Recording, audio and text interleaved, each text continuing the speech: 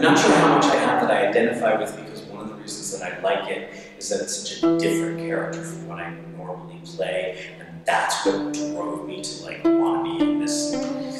Desperately, I have to do this role. When you have to play somebody who is defined by I am this race, you are that race, and that makes me.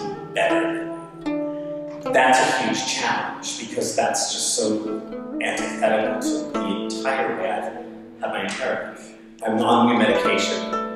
But um, it gives me dry mouth.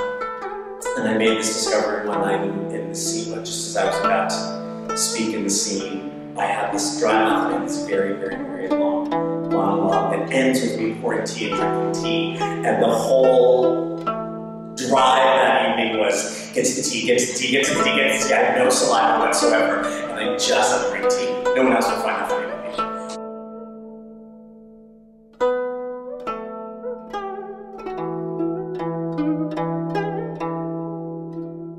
Um, no, I'm just like thrilled to be doing this play and working with, with so.